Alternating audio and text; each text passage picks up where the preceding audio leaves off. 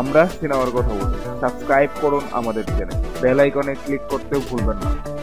Blockbuster hit ছবি পুরামন খ্যাত জুটি সাইমন মাহি। দ্বিতীয়বারের মতো তারা জুটি হয়ে আসছেন জান্নাত নামের ছবিতে। এই ছবিটি নিয়ে সিনেমারায় বেশ আগ্রহ নির্মাণের সময় থেকেই লক্ষ্য করা গেছে।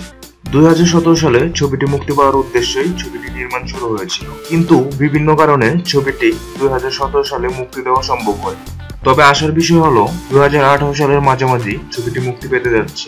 আর এর আগেই মুস্তাফিজুর রহমান মানিক পরিচালিত জান্নাত ছবিটি প্রথম পোস্টার দিয়ে আলোচনায় রয়েছে।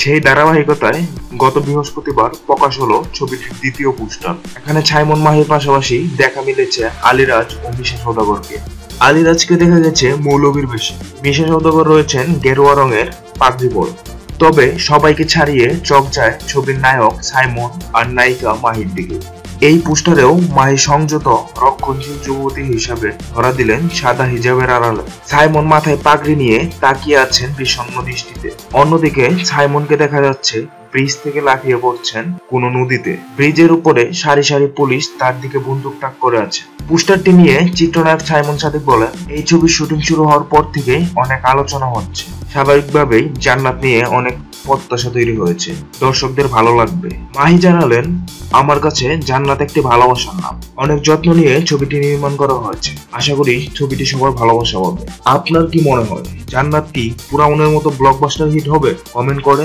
জানিয়ে দিন।